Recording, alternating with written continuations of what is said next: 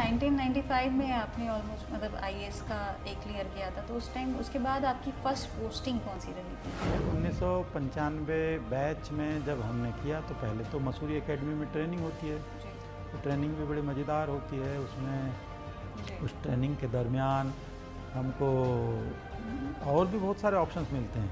Even घुड़सवारी का भी ऑप्शन मिलता है। घोड़े से काफ़ी कोशिश की जान पहचान करने की लेकिन वो मानने को तैयार नहीं हुआ।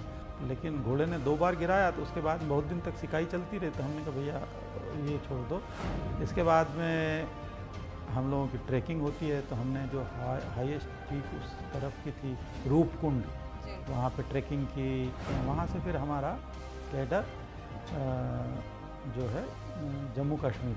अलॉट हुआ। वहाँ गए तो हमारी पोस्टिंग हुई बारामूला। कश्मीर में जब हम पहुँचे तो रात में हम सोने की तैयारी कर रहे थे। लगभग सोने वाले थे कि जैसे दीपावली के टाइम पे नहीं, रात भर पटाखे बजते हैं। उसमें मैंने पूछा, भाई, ये दिवाली अभी मतलब जुलाई, अगस्त में कैसे, यानी जो हिंदुस्तान, पाकिस्तान सीमा पर जो सिपाही लोग होते हैं, दोनों साइड के, वो बीच बीच में जो है फायरिंग करते रहते हैं। और हम लोग अलर्ट हैं, ये एक संकेत देने के लिए।